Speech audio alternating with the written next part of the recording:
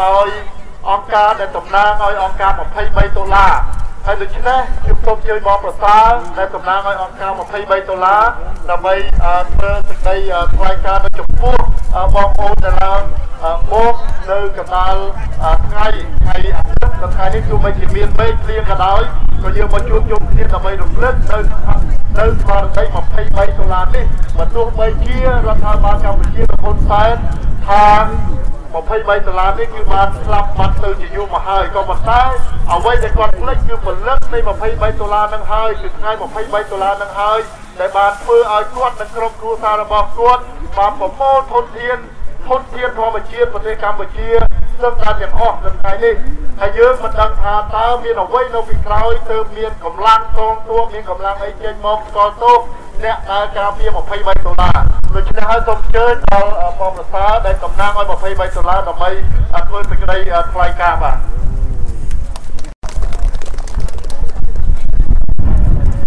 ខ្ញុំខ្ញុំសូមណែនាំអត់ទេខ្ញុំតបទៅខ្ញុំខ្ញុំចង់ឲ្យស្មើបងប្អូនរដ្ឋខ្មែរទាំងអស់គ្នាខ្ញុំឈរក្រោមជាមួយយើងយើងឈរជាមួយគ្នាយើងតស៊ូជាមួយគ្នាអឺខ្ញុំសូមឲ្យអង្គខ្ញុំសូមណែនាំឲ្យស្គាល់ឲ្យបងប្អូន ពលរដ្ឋខ្មែរយើងទាំងអស់ហ្នឹងបានស្គាល់អំពីអង្គការរបស់យើងដែលមានអឺមានសាខានៅប្រចាំគ្រប់ប្រទេសលើលើមុំលោកហ្នឹងហើយពេលបច្ចុប្បន្ននេះយើងកំពុងតែធ្វើញាត់ជាกระดาษហើយនឹងធ្វើតាមអនឡាញផងដែរផ្ញើចូលប្រទេសជាហត្ថលេខីនៃកិច្ចព្រមព្រៀងក្រុងប៉ារីសទាំងអស់ដើម្បីយើងទៀមទាឲ្យហត្ថលេខីចេញមកធ្វើកិច្ចការបំពេញកាតព្វកិច្ចរបស់ខ្លួនឲ្យបានចប់ជ្រុងជ្រោយបាទអឺ ទៀមទានៅអដែងលទ្ធិជាតិបតៃពិតប្រាកដឲ្យកម្ពុជាយើងហើយនឹងការគោរពសិទ្ធិមនុស្សឲ្យពលរដ្ឋខ្មែរយើងឲ្យស្មើមុខនឹងជនជាតិដទៃទៀតនៅលើពិភពលោកបាទខ្ញុំសូមណែនាំឲ្យសូមបងជួយលើកផ្លាកយើងឲ្យបានក្បួនតិចទៅបាទអឺហ្នឹងហើយខ្ញុំសូមចូលរួមតែមកបន្តិចទេអឺតាមការពិតទៅពេលនេះហ្នឹងយើងទាំងអស់គ្នាជាពលរដ្ឋខ្មែរហ្នឹងយើងបានដឹងទាំងអស់គ្នាហើយ បាទវាល្បីសកសាយជុំវិញពិភពលោកហ្នឹងគ្រប់ជាសាមដែលគេបានដឹងដូចជាតំណាងអឺខ្មែរដែលគាត់ទៅ ICU ក៏គាត់សឹងតែលើមុខមិនរួចដែរបាទវាអានឹងវាជាកិត្តិយសរបស់លោកហ៊ុនសែនយើងផ្ញើសារហ្នឹងទៅដល់លោកហ៊ុនសែនឲ្យលោកហ៊ុនសែននឹងពូជគុំគុំតកូលរបស់គាត់ហ្នឹងឲ្យគាត់អឺស្លាប់ទៅដោយអស់ចិត្តបាទមែនទេបងប្អូនបាទ វាអានឹងគឺថាវាសមមុខលោកហ៊ុនសែនតកូលបាក់ពួកគណៈបាលជាជនទាំងអស់ឲ្យផ្ញើសារទៅបងប្អូនខ្មែរទាំងឡាយណាបងប្អូនដែលបានជ្រុលខ្លួនលុកខ្លួនគ្រប់គ្រងគណៈបកប្រជាជនសូមបងប្អូនងាកក្រោយមិនតន់ហួសពេលទេ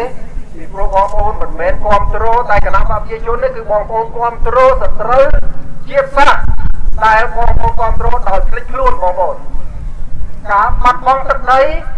បងប្អូនមិនអាចយកអ្វីទិញមិនអាចយកអ្វីមកជំនួសទឹកដីកំណើតរបស់បងប្អូនបានវិញទេមែនទេដូច្នេះ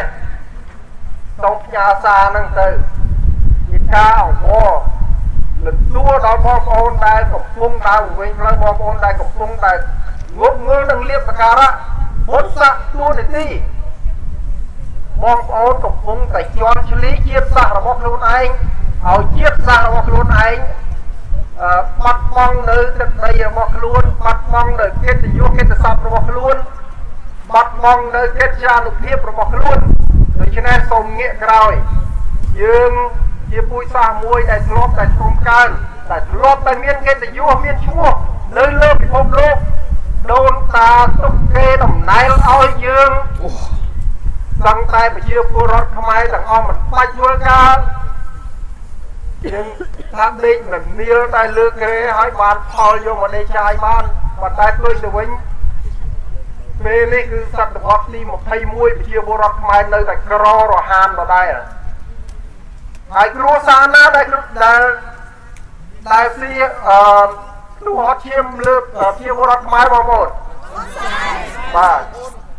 គឺតកូលហ៊ុនហើយនឹងបាក់ពួករបស់គេមិនត្រឹមតែប្រព័ន្ធហ្នឹងទេគឺថា សត្រូវរបស់យើងហ្នឹងក៏គេសត្រូវរបស់យើងមានប្រទេសណាខ្លះបងប្អូនបាទយួននិងចិនណាដូច្នេះ